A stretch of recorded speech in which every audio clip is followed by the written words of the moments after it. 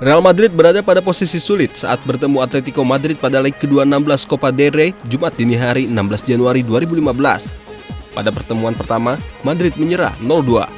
Tertinggal dua gol bukan masalah sepele bagi skuad Ancelotti. Apalagi, Los Galacticos memiliki pertahanan terkuat di daratan Eropa.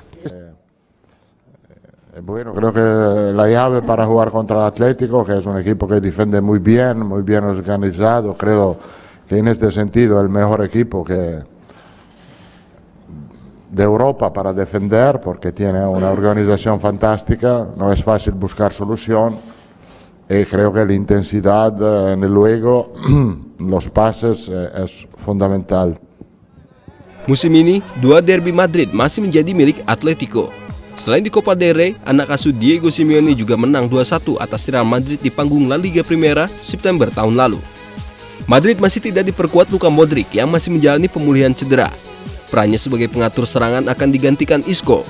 Sementara itu, Cristiano Ronaldo yang baru mendapat penghargaan FIFA Ballon d'Or masih menjadi andalan untuk menjebol gawang Atletico. Ia akan menjadi starter bersama Gareth Bale.